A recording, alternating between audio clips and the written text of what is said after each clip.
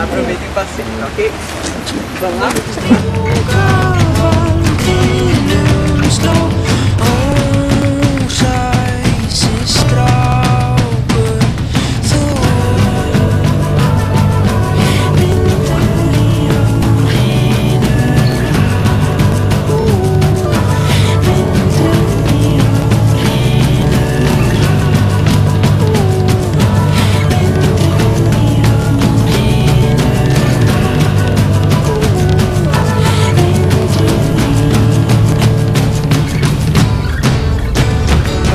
Zulai, ele começou com uma pe- pequena chácara, que é o terreno lá de cima, que era de um senhor chinês chamado Senhor Shang, que é o fundador dos que anos Shang. depois veio Oi? Shang Shang? Não, Senhor Shang. Que depois veio a fundar, anos depois, o Instituto Siddhartha. Era uma chácara e quando o mestre Xin veio para o Brasil, ele abrigou o mestre Xin nessa casa. O mestre Xin ele fundou a ordem monástica de Foguanshan, que é uma ordem budista é, originária de, de Taiwan e do norte de Taiwan.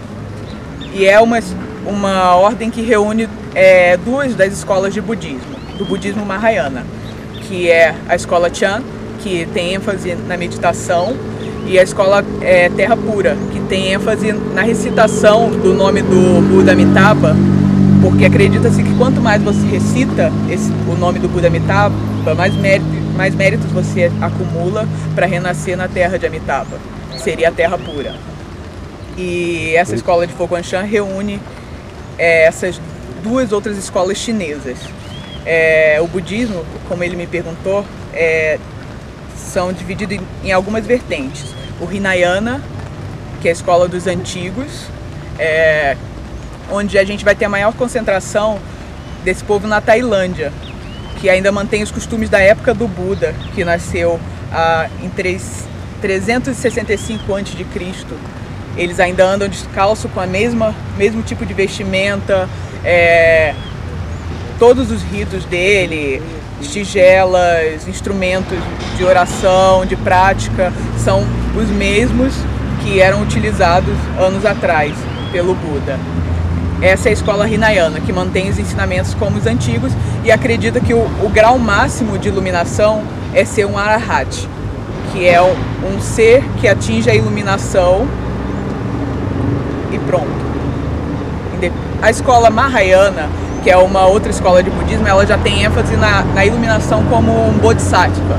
O que é um bodhisattva? Bodhisattva é uma espécie de santo, uma pessoa que que faz algum voto de ao invés de quando atingir a iluminação passar para um nível superior, ela retornar para ajudar todos os outros seres a irem. Então, a escola Mahayana acredita que tem muito mais valor você ser um bodhisattva e voltar para salvar os outros do que você é, buscar a sua própria salvação. E fora isso ainda tem a Vrajayana, que é a escola que é tibetana, onde estão todas as escolas tibetanas. Eles têm o, eles são maha, mahayanistas também. Eles têm esse foco no, no, na busca de ser um bodhisattva, na prática bodhisattva. Mas a gente chama de Vrajayana pra, como identificação do povo tibetano mesmo. São escolas que tem, a gente vai ter o Dalai Lama, que é de uma das escolas mais antigas do Tibete. E no Tibete também o budismo ele tem uma vertente mais esotérica do que o budismo chinês, do que o japonês.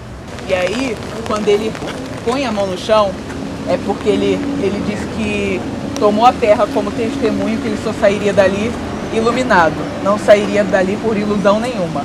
E aí nisso é que ele conseguiu acabar com as tentações de Mara e se iluminou. Ele passou 40 dias sentado embaixo de uma árvore para atingir a iluminação.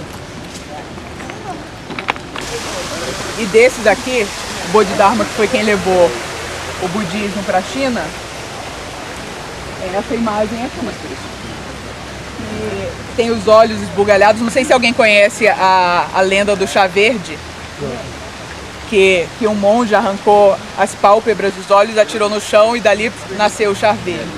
Ele, o Bodhidharma, foi ele.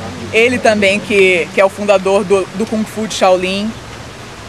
Ele que levou o budismo para a China. E esse aqui do lado dele é o Rahula, que, foi que é filho do Buda Sakyamuni, de Siddhartha. Que, e também é o fundador do budismo tibetano.